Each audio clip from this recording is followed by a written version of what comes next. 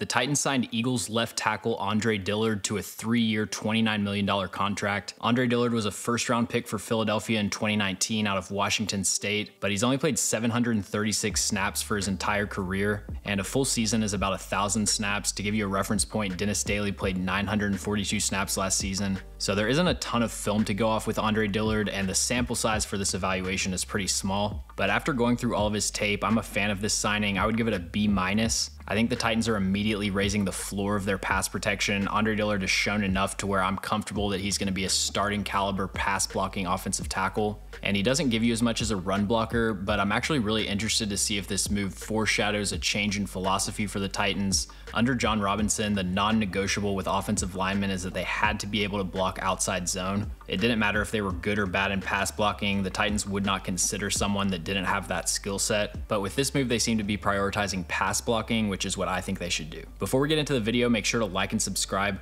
Also follow us on all of our social medias. You can find the links to those in the description below. So when it comes to evaluating an offensive tackle's pass protection, I think of it in terms of their ability to block pass rushes in all three directions, inside, outside, and down the middle. And Andre Dillard has no problems protecting the outside. He has extremely quick feet, great slide quickness, to mirror speed rushes, and he has a really smooth pass set. He gets adequate depth and he does a good job protecting the outside shoulder. And then I was also really impressed with his hand usage. He doesn't have the best length, but he makes up for that with a really quick punch. And there are times that'll let the pass rusher land hands on him first, but he always has a recovery plan, and he does a good job replacing his punch throughout the rep. You can see on this play against Dallas, if you want to hit Andre Dillard with a straight speed rush, you're not going to have much success. And so the fact that Dillard has that requisite level of foot quickness to keep up and protect the outside shoulder, that alone makes him an upgrade to Dennis Daly. And then he also has a really solid anchor, great ankle flexion to drop his weight and resist the bull rush. And for a player that's kind of upright and stiff in some ways, Andre Dillard has a really impressive ability to drop his weight and adjust his leverage. But Andre Dillard's main weakness as a pass blocker is protecting against inside counters. He has a tendency to lower his head into contact, and when he drops his anchor, he fully commits all of his power into anchoring against that bull rush. And you can see on this play against Chris Jones, that opens up the opportunity for pass rushers to swim inside. And then here's another one against Kansas City. You can see his weight displacement is too far forward. And then when the pass rusher rips inside, it's like pulling the rug out from underneath him. But Andre Dillard's a player with elite athletic traits, 90th percentile in the three cone, short shuttle, 40 yard dash, 10 yard split, and broad jump. And for a player with such limited experience, it's hard for me not to project him to have some development in this area. If you watch him on a snap to snap basis, Andre Dillard shows the ability to slide inside and mirror those inside counters. It's just a matter of consistently playing with proper technique and a strong inside hand. And then he also has really good awareness as far as picking up stunts and twists although he could improve his vision and proactiveness when it comes to giving his left guard help. And then the final thing to discuss with Andre Dillard is his run blocking, which is definitely not the reason the Titans signed him. He's a really fast and explosive player, so he has the speed to get downfield as a puller or a screen blocker, but he lacks the short area quickness to secure those blocks and he usually just ends up running 20 yards downfield and not making contact with anyone. And his combination of foot quickness and natural power makes him really effective blocking duo. He can cover a lot of ground along the line of scrimmage and just wash defenders out of the play. But outside of that, his run blocking tape was very underwhelming. His footwork and balance are great in pass protection, but when the Eagles ran the ball, that all went out the window. But the way I look at this signing is that for the past four years, the Titans have invested heavily in run blockers along the offensive line, and they're finally going in an opposite direction and potentially modernizing their offense. The number one thing that you need from your left tackle is the ability to protect the quarterback, and I think Andre Dillard can do that at a C plus to B minus level. And three years, 29 million is an absolute steal in my opinion, especially when you consider the athletic upside that Andre Dillard has.